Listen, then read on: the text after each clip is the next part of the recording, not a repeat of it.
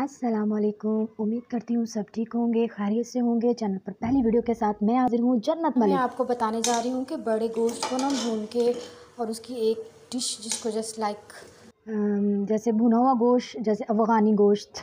मैं बड़े शौक से बनाती हूँ। आपने क्या करना है? गोश्त ले लेना है गोश्त को अच्छी तरह धो के उसके छोटे छोटे गोश्त पीसीस कर लेने हैं और उसे कुकर में डालना है। उसमें हाफ़ चम्मच लहसुन और हाफ़ चम्मच अदरक डालनी है।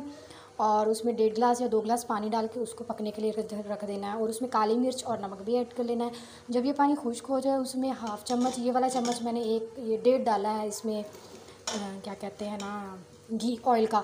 और उसको अच्छी तरह मैंने भून लिया। अब देन इसके बाद मैंने ये देखें मैंने चटनी बना के रखी है। चटनी जैसे होता है पुदीना धनिया और हरी मिर्च और दही डाल के तो ये चटनी है। अब इसमें मैं चटनी ऐड करूँगी ठीक? है सी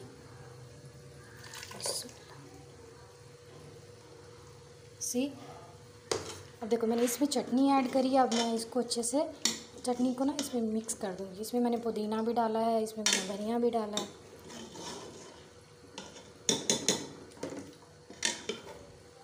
ठीक है, अब कुछ देर के लिए ना मैं इसको एक हाथ में मैंने मोबाइल पकड़ा हुआ है ना तो प्रॉब्लम होगा अब कुछ देर के लिए मैं इसको ढक के रख दूँ एक एक लीमू आपने इसमें ऐड कर लेना उसकी ज़रूरत है। अगर आप ज़्यादा खाना चाहते हो तो आप लोग ज़्यादा भी ऐड कर सकते हो, ठीक है? पक रहा है तो इसकी कुछ शक्ल इस तरह से आपको नज़र आएगी। ये देखिए हरी हरी भी नज़र आ रही है इसमें। देखिए, अभी ये इसकी जो दही है वो खुश्क हो गई है और ये दही छोड़ रहा है अपना। इसको हम दो तीन मिनट के लिए ऐसे अच्छे से भूनेंगे और फिर मैं प्लेट में निकाल के आप लोगों को दिखाती हूँ, ठीक है?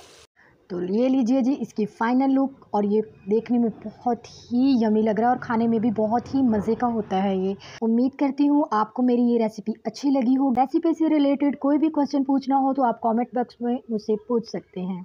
बाकी वीडियो को लाइक कर दीजिए और जो मेरे चैनल पे नए हैं, मेरे चैनल को सब्सक्राइब कर दीजिए और अपना सपोर्ट और प्यार दिखाइए। अल्लाह हाफिज़।